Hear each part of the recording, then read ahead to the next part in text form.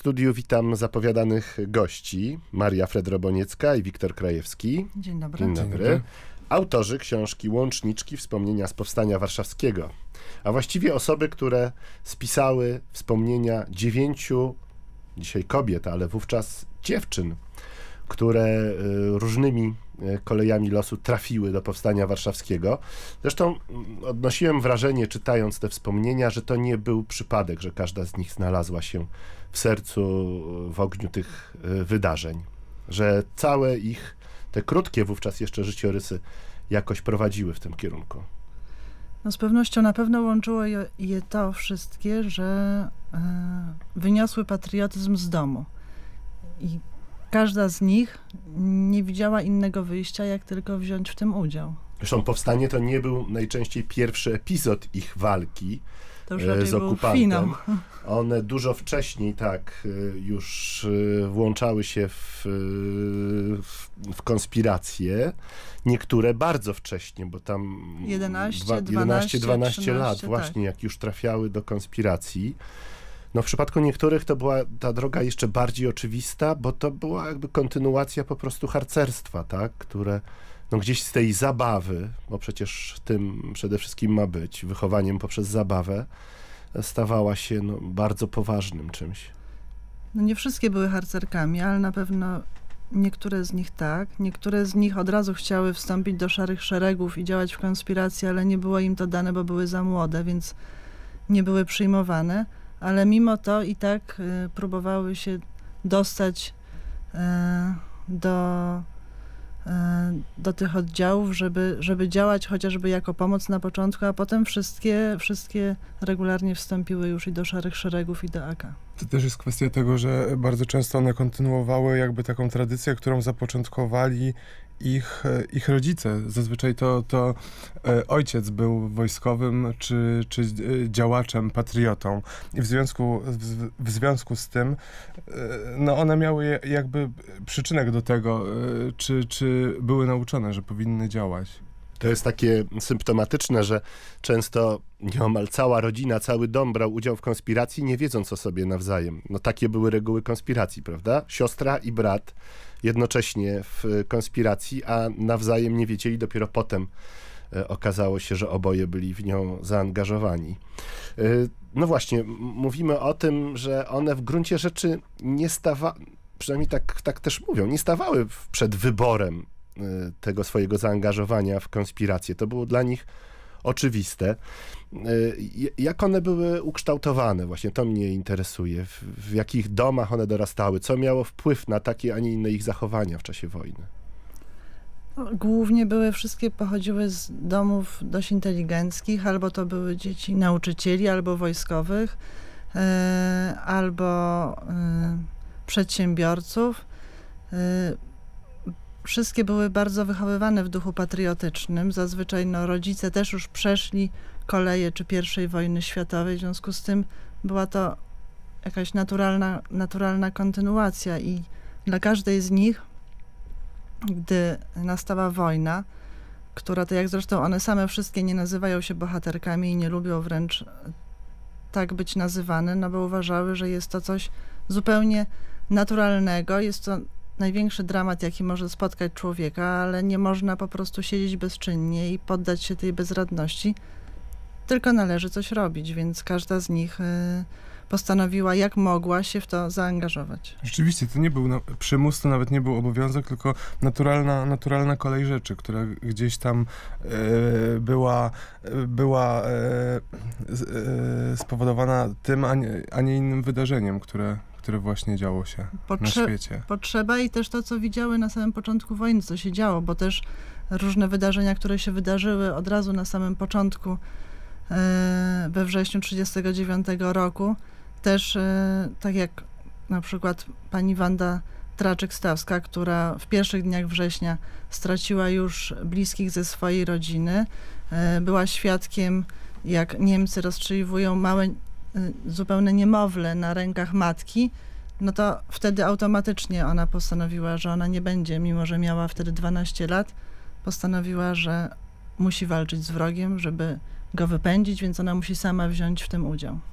No to jest dla mnie być może najciekawszy i taki najbardziej dramatyczny moment, y, zresztą on się podobne traumatyczne wydarzenia przewijają się we wspomnieniach wszystkich pań, y, że tak młoda dziewczynka, no ktoś kto ma dzieci to wie, dwunastoletnia czy trzynastoletnia dziewczynka to jest dziecko jeszcze, że w obliczu tak wstrząsających przeżyć y, nie ulega przerażeniu, tylko to ją mobilizuje właśnie do, do walki. To jest y, coś niewyobrażalnego. Tak sobie zastanawiam się, czy, czy inna była konstrukcja psychiczna e, ówczesnej młodzieży, czy to jest to właśnie, co one wyniosły z domu, z harcerstwa, ze szkoły, bo tam panie wspominają też, jak wyglądała ta szkoła, która je kształtowała. Myślę, że szkoła była dla nich bardzo ważna i rzeczywiście nauczyciele byli wielkimi autorytetami. Jednak było to trochę inaczej niż dzisiaj to wygląda. I szkoła, dom, no to była podstawa plus harcerstwo, więc myślę, że one po prostu się urodziły z taką, z taką energią i z, z taką potrzebą i z taką silną wolą i z taką wielką miłością do też potrzebą wolności i Rzeczywiście, one, one zresztą podkreślają, że, że przeszły no, taki przyspieszony kurs y, dojrzewania. W związku z tym, że obserwowały to, co się dzieje, były świadkami wielu y, no, dość dramatycznych y, sytuacji. No chcąc, nie chcąc, one nagle z tych nastolatek, które które powinny bawić się, śmiać się i, i nie myśleć w sumie o poważnych rzeczach, musiały stać się dorosłymi osobami, często zdanymi tylko i wyłącznie na, na siebie. Tak, tak. Jedna z nich nawet powiedziała też w tych swoich wspomnieniach, że e, gdy ojca e, aresztowano i wieziono do obozu, ona została sama z matką i właściwie z dnia na dzień, tak jak nigdy nic nie musiała robić, nawet sprzątać. Była z dobrego e, domu, nie miała żadnych obowiązków poza nauką. Z dnia na dzień musiała coś robić i miała wręcz taką silną potrzebę, że skoro ojca zabrakło, ona została sama z matką, to ona też musi przejąć pewne obowiązki i przyszło to zupełnie naturalnie. Zresztą mówimy tutaj o mm, tych dziewczynkach. A, akurat te dziewięć dziewczynek pochodziło z tak zwanych właśnie dobrych domów, ale tam pojawiają się we wspomnieniach przecież na przykład chłopcy, no, ulicznicy, tak. tak można ich po prostu nazwać, którzy, jak się okazało, w tej trudnej sytuacji, w tej sytuacji y, walki z okupantem, też y, spełniali bardzo ważną rolę i Gdzieś tam rodziły się wzajemne przyjaźnie, współpraca oczywiście, więc e, e, więc no, no zupełnie in, do innych postaw zmuszała ta e, rzeczywistość. Mówimy o łączniczkach, czy też czasami sanitariuszkach z, już z okresu powstania. Teraz strzelca też, no bo też, Właśnie, właśnie, bo do tego też chciałem dojść, ale mm, o łączniczkach mówi się jako o, o, takich osobach, które gdzieś tam no, pomagają, działają na zapleczu, wydawałoby się, może nie są aż tak istotne jak ci, którzy biorą udział e, w walce w pierwszej linii, ale tu trzeba sobie uświadomić, to historycy podkreślają e, i też e, osoby, które wspominają, znają to z własnych przeżyć, że funkcja łączniczki łączyła się z największym ryzykiem Podobnie jak Niewiel... sanitariuszki, tak. Tak, bardzo łatwo było zginąć. Nie mogły się bronić, bo były nieuzbrojone, były narażone na bezpośredni kontakt y, z przeciwnikiem.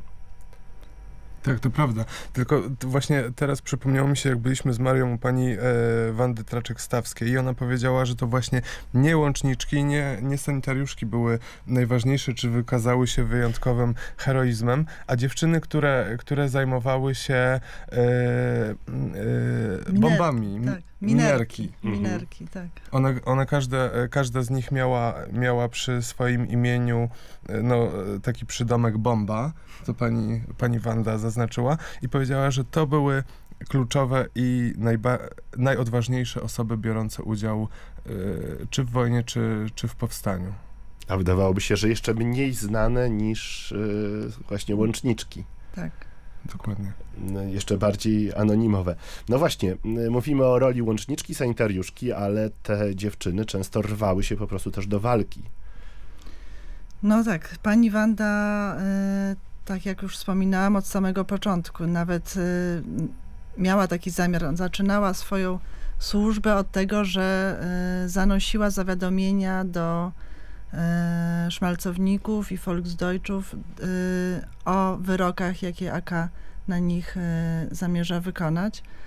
E, To była pierwsza trudna misja i uważa, że to jest najtrudniejsza, ale potem nawet gdy kazano jej się uczyć już w Szarych Szeregach, chodzić na komplety, to ona w pewnym momencie postanowiła porzucić naukę, bo uważała, że w tym momencie jest ważniejsze to, żeby ona się nauczyła strzelać, a nie e, dokładnie poznać literaturę, historię, bo i tak to pozna. I zaocznie, można powiedzieć, powiedzieć, robiła podchorążówkę, bo nie dostała się, ale jej kolega, który był w takiej szkole, wszystkiego, jej, wszystkiego ją nauczył. Tak więc e, ona rzeczywiście udało jej się dostać do oddziału e, Montera, gdzie została łączniczką strzelcem, była traktowana na równi z chłopcami. E, Najpierw dostała taki stary pistolet przedwojenny, co się śmiała, że to chyba kowboje jeszcze z niego strzelali, ale potem bardzo szybko dostała swoją błyskawicę. No i do końca powstania e, z nią walczyła. Y, Wspomnieli Państwo, że dl- dla wielu z nich no, powstanie było tym ostatnim akcentem wojny, ale to nie do końca też tak było, bo potem przecież część z nich przeszła przez różne obozy.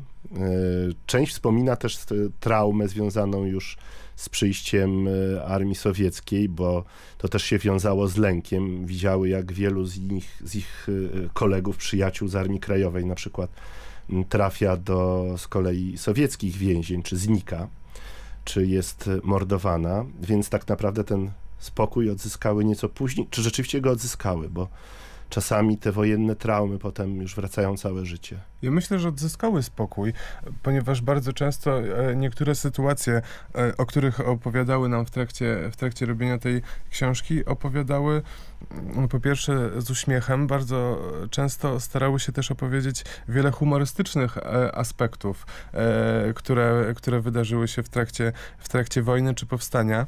Niemniej jednak widać, że cały czas to, że, że brały udział w wojnie, że doświadczyły wojny, że, że doświadczyły powstania, że, że e, mają na swoim, na swoim koncie m, pobyt e, w obozach e, pracy na przykład, cały czas jest w nich, e, w nich obecny i to żyje do, do dzisiaj, ponieważ one są bardzo chętne do, o tym, żeby, żeby mówić, e, żeby mówić to e, z pewnego rodzaju pietyzmem, z patosem, żeby, żeby przedstawiać fakty takie, jakie były, a nie takie, jakie, e, nie wiem, twórcy niektórych e, filmów czy, czy fikcyjnych książek na temat, na temat wojny przedstawiają. Jedna z bohaterek jest e, pańską babcią, tutaj ni- niczego nie zdradzamy. Tak, to E, prawda. Właśnie, czy, czy pan e, dorastał też już w atmosferze wspomnień babci? Tak, to prawda. Tak, tak, tak. Dorastałem w, y, w atmosferze tych, tych wspomnień i to chyba taki jeden z najprzyjemniejszych jakichś e, wspomnień odnośnie, odnośnie mojego dzieciństwa. Moja babcia mi opowiadała swoje, my to nazywaliśmy przygodami e, e, wówczas, jeżeli chodzi o, o, o, o, wojnę. Tak. Może to jest też jakaś tajemnica bohaterstwa młodych ludzi, że jednak potrafią po prostu przeżywać nawet tak straszne rzeczy jako przygodę. Tak, Nie wiem. pewnie, pewnie po części. Zresztą Może każda- to jest częściowo klucz. Każda z nich mówiła, że nie myślała o tym, że zginie w trakcie Mhm. tego. Ja się nawet zapytałem, e, pamiętam e, pani Harasimowicz o to, czy dzisiaj współczesny człowiek byłby w stanie znieść psychicznie e, to, czego, czego one doświadczyły. Ponieważ ja jestem święcie przekonany, że ja na przykład nie byłbym. Nie wiem jak, jak, jak Maria, ale ja nie byłbym.